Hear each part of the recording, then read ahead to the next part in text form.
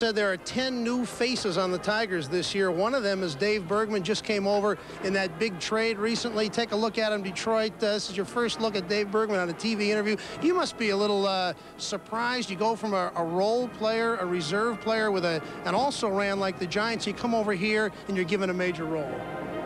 Well, I think uh, you got 25 men on a roster, and each person plays a particular role, and I think they're all major. Um, I'm hoping that maybe my position this year might be uh, one that allows me to play a little bit more than I had in the past. But I think if you make the ball club, you've got a major role.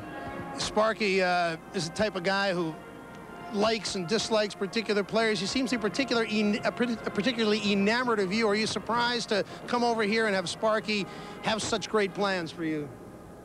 Well, I don't know. I just basically try to go out there and do my job, and I keep my mouth shut and just play hard. And uh, maybe that's the type of player that Sparky likes. And if that's the case, then I'll fit in fine over here. You've been around many years in the major leagues. Are you too hardened a veteran to get nervous for an opening day? Well, I'd be lying if I said I wasn't nervous. I think every guy out there has got the butterflies a little bit on the first game, and uh, this is the first time I've ever had an opportunity to, to start in an opening day, so I'm really looking forward to it. What do you tell yourself? Relax and try and get a couple of hits? What? Well, I try to tell myself that every time I'm out there, but basically I just got to try to stay within myself today, not try to do too much, and, and if I do, I think I'll be all right. Dave, thanks a lot and good luck to you. Thank you very much. Well, that's our show for tonight.